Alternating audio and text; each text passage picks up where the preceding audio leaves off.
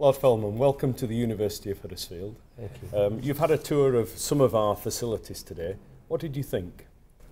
I think that the University of Huddersfield is a beacon of what universities uh, should be doing at the moment. The way in which over the last five years it's transformed its income base, it's put itself into surplus, which it's reinvesting back into the university, the kind of facilities it's now offering for students, um, the quality of the education, the interface with the local business community. Um, all of these things are really an inspiring example of what is possible with great leadership and creative thinking. You're standing right now in the Enterprise and Innovation Centre, which is due to open uh, this summer. It's a unique environment designed to support spin-in and spin-out companies linked to the university to foster economic growth within the region. Do you see this type of facility as the way forward for university business engagement?